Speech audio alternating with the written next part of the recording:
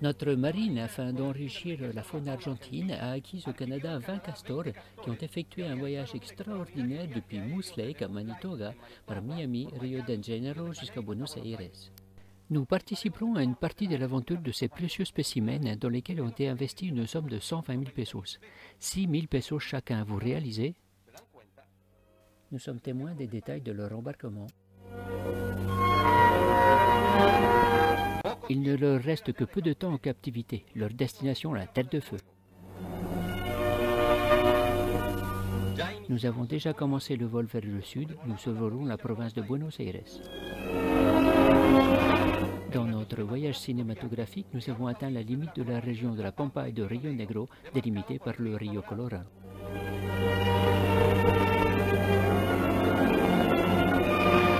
Ce sont les rivières qui fécondent ces terres, d'où Rio Negro a tiré son nom.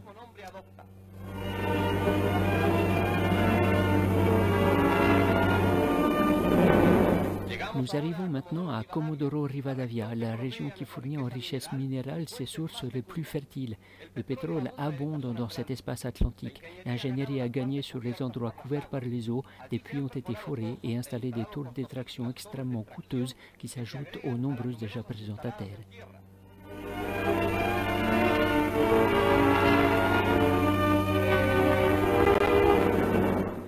Continuons notre route aérienne vers le point le plus au sud du pays.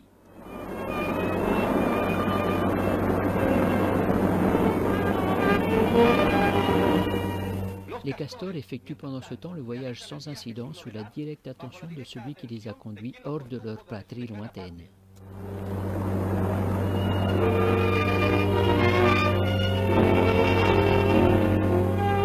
Nous sommes en territoire phrygien, nous nous sommes dirigés directement vers la région lacustre choisie pour déposer la cargaison de valeur.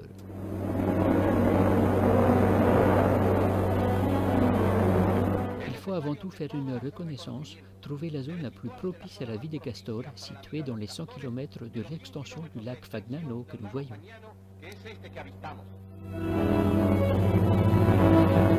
Pendant le vol, nous ne pouvons pas nous soustraire à tant de merveilles naturelles.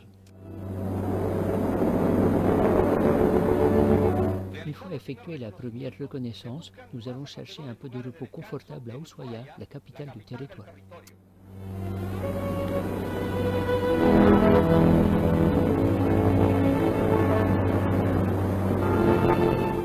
Ushuaia est un centre urbain aux rares attractions naturelles et qui croît de jour en jour. Jusqu'à très récemment, les maisons en bois étaient les plus nombreuses, mais les avances réalisées sur les terres imposent progressivement la construction avec des matériaux plus résistants. La nouvelle église découpe sa silhouette élégante et élancée au devant des contreforts montagneux.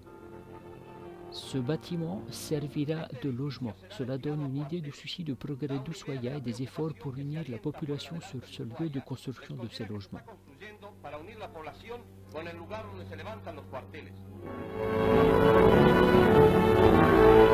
En s'éloignant de quelques kilomètres de la ville en direction de Rio Grande, nous arrivons à l'un des endroits les plus pittoresques de la région, les sauts du Monte Olivia, belles cascades naturelles qui serviront à produire l'énergie électrique indispensable pour les besoins croissants de la capitale du territoire. La faune phrygienne est d'une richesse incalculable. Lors de notre séjour à Ushuaia, nous avons vérifié lors d'une excursion dans le canal l'existence de milliers et de milliers de longs de mer.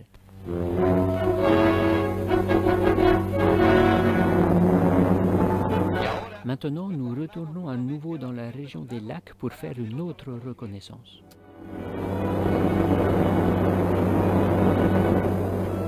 Ces forêts épaisses donnent une idée de l'exubérance végétale de la zone.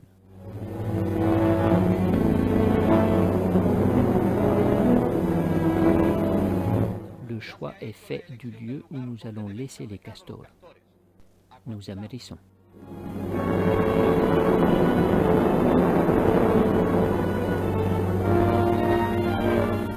Encore faut-il faire d'autres reconnaissances partielles et pour cela nous utilisons un canot pneumatique. Nous pouvons apprécier ici la transparence cristalline des eaux.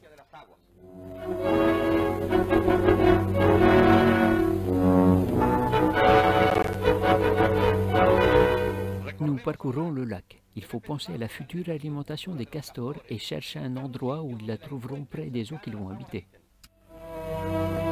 Le lieu a été choisi. Enfin, les petits animaux sont conduits à terre. Nous imaginons les conjonctures nécessaires au milieu de tant d'alternatives différentes.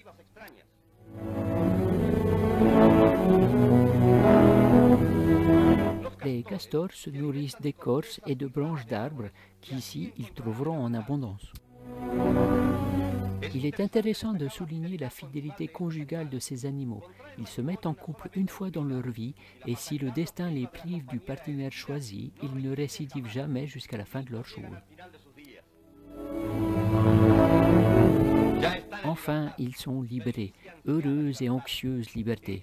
Ils vont enrichir la faune du lieu comme dans un proche avenir le feront les reines de Géorgie et autres espèces animales pour qui le climat des lieux est propice.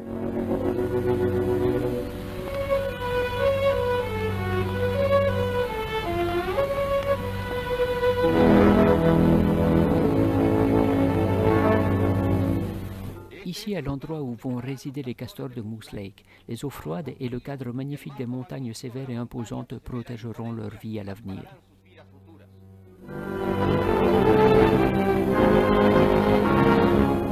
La mission est accomplie. Les castors ont été laissés aux soins de Dieu.